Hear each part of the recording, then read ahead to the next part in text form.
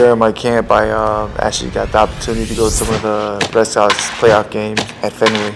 We got the opportunity to sit down at the, the Green Monster, and it's pretty cool. We got to watch the batting practice, um, got to watch how they warmed up, and yeah, it was a great time.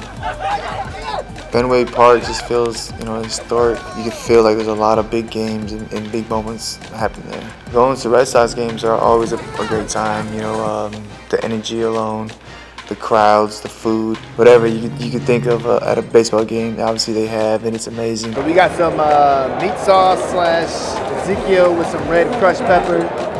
Can't have the Fenway Franks or the burgers, but uh, this will do for right now. I'm, I'm just happy they let me bring the food in you know, put the work in now and make it a little easier um, come weighing day.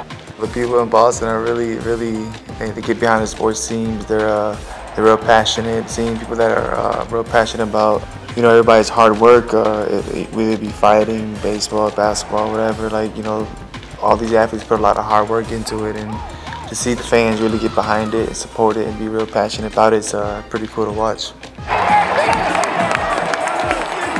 I got to meet the mascots, kind of brought the little kid out of me, and uh, also got to show them a couple punches, you know, showed them how to throw that jab cross hook, and uh, and they, you know, they did great. As I was showing them how to, uh, you know, shot a box, uh, unfortunately, one of them, you know, took it too serious and almost knocked themselves out.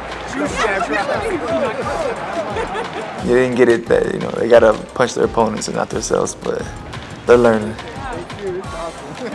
you know, we're definitely in title town. You know, we win everything. Uh, we're just missing one thing, and that's the UFC belt. And uh, plan on bringing that UFC belt back to Boston.